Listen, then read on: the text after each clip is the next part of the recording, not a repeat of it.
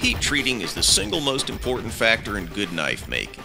It doesn't matter if a knife is pretty, if it won't hold an edge, it's crap.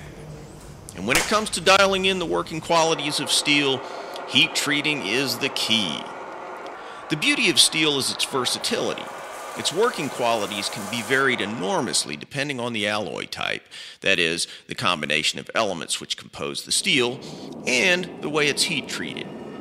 There are a number of heat treating operations you'll have to go through in order to produce a good knife. Depending on the steel, these will include hardening and tempering and may include normalizing, annealing, and other operations. And almost all of them can be accomplished with a heat treating oven. When you first start making knives, you don't necessarily need a heat treating oven. Simple carbon steels are fairly forgiving.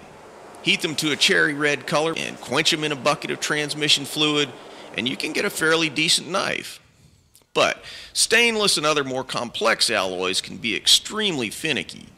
Stainless steels are frequently air quenched, meaning you just take them out and cool them in air.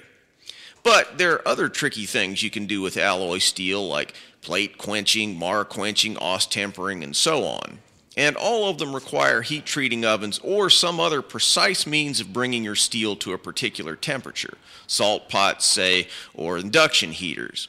Okay, don't panic. This isn't necessarily a problem for the beginning knife maker who wants to work with stainless or other alloy steels.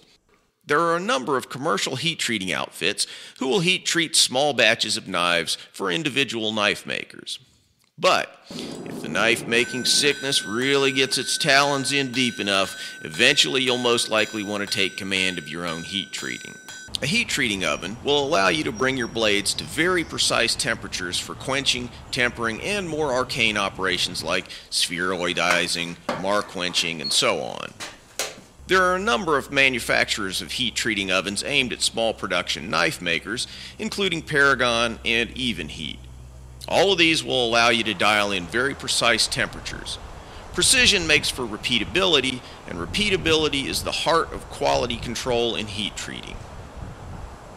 When you get an oven, you'll also want to get little ceramic racks which allow you to position your blades, as well as stainless steel heat treating foil, which is absolutely necessary.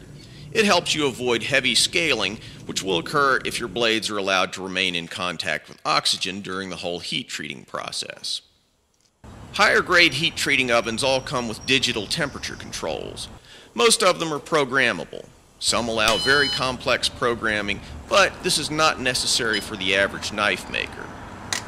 Some of the lower end models don't come with digital controls, but you have to have some kind of temperature control or there's no point in using a heat treating oven at all. Now, heat treating ovens aren't cheap.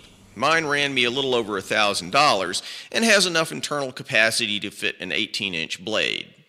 If you make Bowies, you'll want a reasonably sizable one. If your interest runs more to folders, you can get by with a smaller one that'll probably cost you under a grand. One thing to remember is that these are electric and they draw a lot of current. Most of them run on 240, so make sure you've got a dedicated circuit ready for them. If you haven't got the juice, they make for a hell of an expensive coaster for your coffee cup. Hey guys, thanks for watching. If you enjoyed this video, please subscribe to my channel and check out my website, waltersorrellsblades.com, where you'll find a more comprehensive and complete version of all these cool videos that I'm posting here on YouTube.